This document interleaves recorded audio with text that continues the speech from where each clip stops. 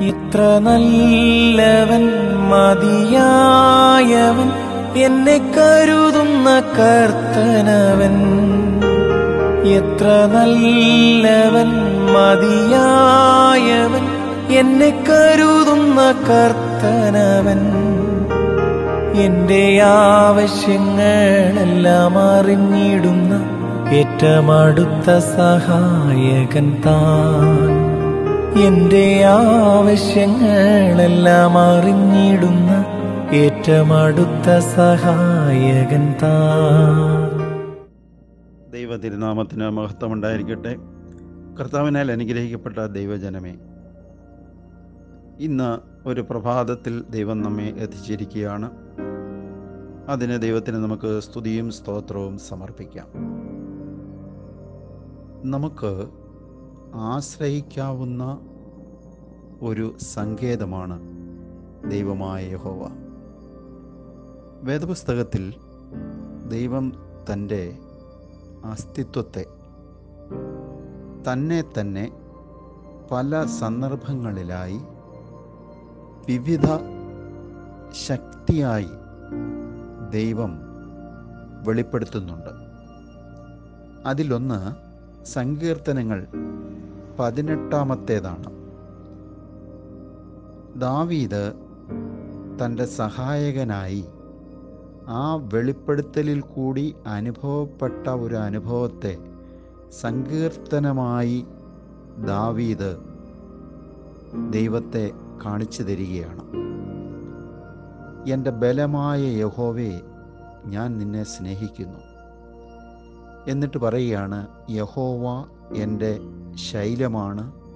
എന്റെ കോട്ടയും എന്റെ രക്ഷകനും എന്റെ ദൈവവും ഞാൻ ശരണമാക്കുന്ന എന്റെ പാറയും എന്റെ പരിചയും എന്റെ രക്ഷയായ കൊമ്പും എന്റെ ഗോപുരവും ആകുന്നു. അത്യുന്നതനായ യഹോവയെ ഞാൻ വിളിച്ചപേക്ഷിക്കുകയും എന്റെ ശത്രുക്കളുടെ കയ്യിൽ നിന്ന് രക്ഷ പ്രാപിക്കുകയും ചെയ്യും. ദാവീദ് ദൈവത്തെ വളരെ ശക്തമായ നിലയിലാണ് അനുഭവിച്ചിരിക്കുന്നത്. ഒരു ശത്രുവിന്റെ കയ്യിൽ നിന്ന് എങ്ങനെയൊക്കെ തന്നെ രക്ഷിക്കും അതുപോലെയുള്ള ഒരു സങ്കേത സ്ഥലമായിട്ടാണ് യഹോവയായ ദൈവത്തെ പതിനെട്ടാമത്തെ സങ്കീർത്തനത്തിൽ കൂടി ദാവീദ് പാടി സ്തുതിക്കുന്നത്. എന്റെ ശൈലവും എന്റെ കോട്ടയും രക്ഷകനും ദൈവവും ഞാൻ ശരണമാക്കുന്ന എന്റെ പാറയും പരിചയും കൊമ്പും എന്റെ ഗോപുരവും ആകുന്നു എന്നാണ്. ദാവീദ് എത്ര സ്തുതിച്ചാലും മതിവരാത്ത വാക്കുകൾ കൊണ്ട് നമുക്ക് ദൈവത്തെ പരിചയപ്പെടുത്തി തരുന്നത്. ആ ദൈവം നമുക്ക് സങ്കേതസ്ഥാനമായിട്ട് നമ്മുടെ എല്ലാ ആവശ്യങ്ങളിലും അടുത്ത സഹായകനായിട്ട് ആ ദൈവം നമ്മുടെ കൂടെയുണ്ട്.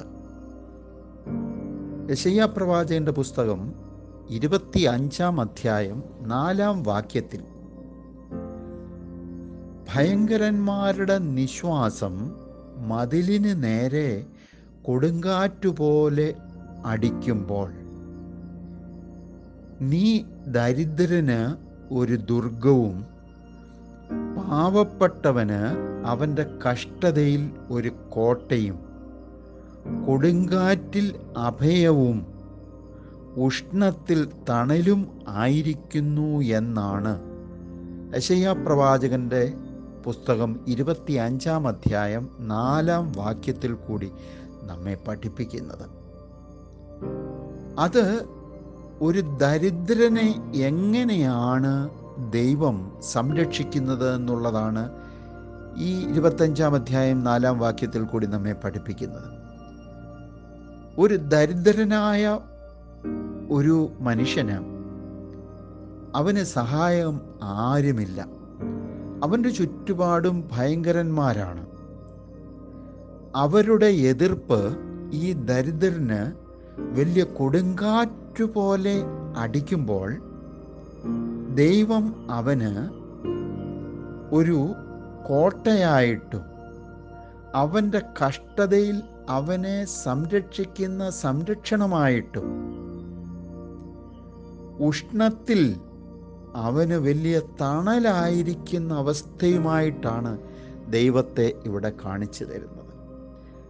പ്രിയരെ നമ്മുടെ ഇന്നത്തെ യാത്രയിൽ ഇന്നത്തെ നമ്മുടെ ഈ പ്രഭാതം മുതൽ ഈ സന്ധ്യ വരെ അല്ലെങ്കിൽ ഒരു സംരക്ഷണത്തിനു വേണ്ടി നമ്മൾ ആഗ്രഹിക്കുമ്പോൾ നാം ഏത് രീതിയിൽ ആഗ്രഹിക്കുന്നുവോ ആ അവസ്ഥയ്ക്ക് അനുയോജ്യമായിട്ട് ദൈവമായ കർത്താവ് നമ്മെ സംരക്ഷിക്കുവാനായിട്ടുണ്ട്.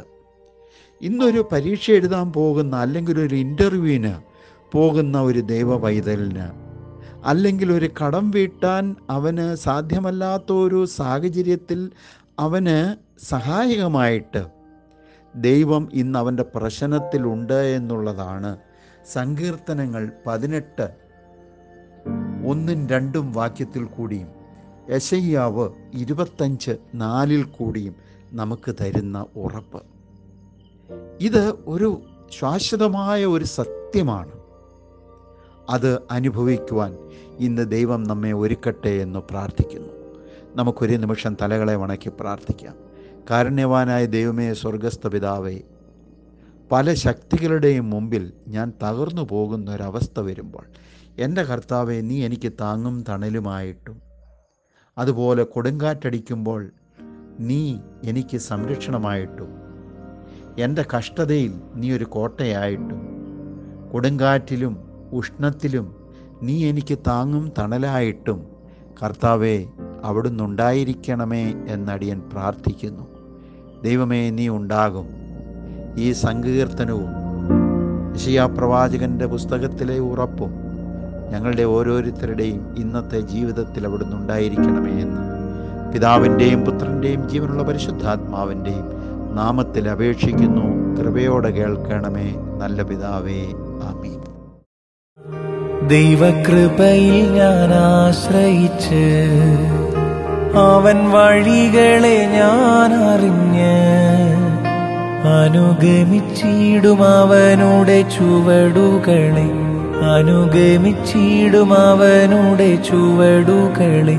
ദൈവകൃപയിൽ ഞാൻ ആശ്രയിച്ച് അവൻ വഴികളെ ഞാൻ അറിഞ്ഞ് അനുഗമിച്ചിടും അവനുടെ ചുവടുകളെ അനുഗമിച്ചിടും അവനുടെ ചുവടുകളെ.